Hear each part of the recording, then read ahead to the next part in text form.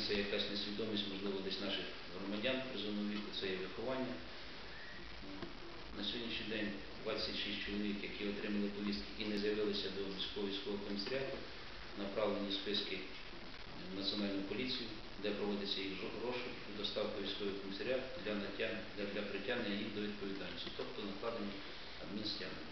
На сьогоднішній день три чоловіка е, притягнули ми до адмінстягнення. Це мінімальне 3 до 7 податкових мінімум. Це перший раз подання протоколу. І як не прикро, не прикро, ці громадяни, три чоловіка, працюють в державних закладах міста Чернівці. Я не хочу наголошувати конкретну фамілію, прізвище цих громадян, але на сьогоднішній день працюють в державних закладах міста, державні службовці. Якщо вони себе так поводять, то що вже говорити про, про інше? Я не хочу їх наголошувати, я думаю, вони розуміють, про кого йде мова. На сьогоднішній день він прибув ми ставили зараз на нього протокол.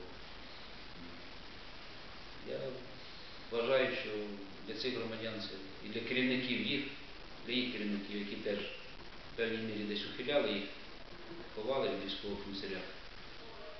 Я думаю, їм теж, теж це не личить. Заходиш на підприємство, керівник нема, десь поїхав, відправив на завдання ще, хоча він знає, що громадянин призовного віку підлягає призову. Це ще зазначить, що він піде служити і буде відправлений війська. Для того, щоб він був відправлений в війська, йому потрібно провести медичне обстеження. Це комісія міська призовна, комісія обласна призовна, також пройти професійний відбір. Якщо він ці три пункти не пройде, не пройде, звичайно, він не буде відправлений в Збройні сили.